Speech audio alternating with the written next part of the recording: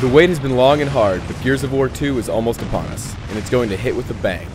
Picking up the story of Marcus and his dedicated squad mates, Gears 2 will bring a more character-based story than the first game. New soldiers, story arcs, and much more will be added to the overall mythology of the Gears universe. That's not to say that the action is any less intense. The tried and true Gears cover system is back, and the environments are much more interactive and dynamic this time around.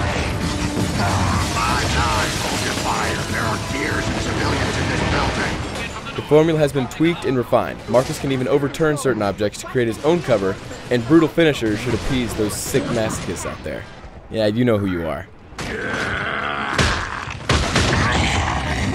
And you'll need those newfangled tricks because the creepy crawlies are now even nastier.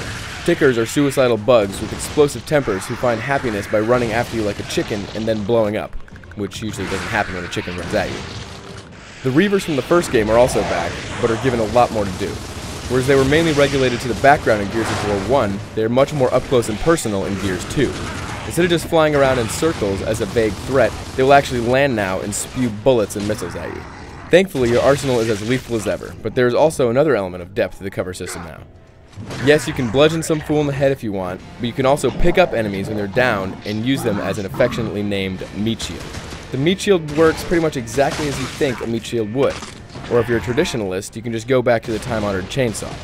This time around, the epic chainsaw duels are more than elements of chance, as you'll now have to furiously mash the B button if someone tries to chainsaw you as you're trying to do the same to them. Speaking of time honored, you can also finally fight the previously PC only enemy, the Brumak.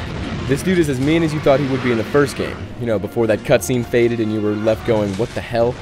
And you need the big guns to bring him down. The mortar comes in handy and is more than willing to help out by raining down fire upon your foes. Overall, Gears 2 is even more frantic and dynamic than Gears 1.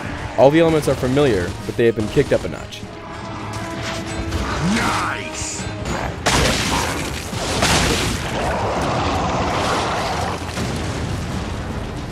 You can finally live those fantasies of being a Reaver and Brumak pilot. These sequences are almost reminiscent of Panzer Dragoon. You'll be diving and juking on your trusty squid-looking creature in the hope that you either won't get shot or eaten. Good luck with that.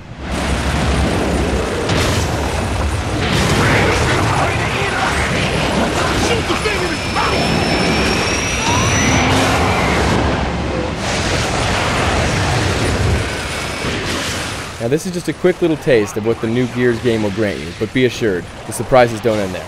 For more news and previews leading up to our review on November 3rd, keep checking back to IGN.com.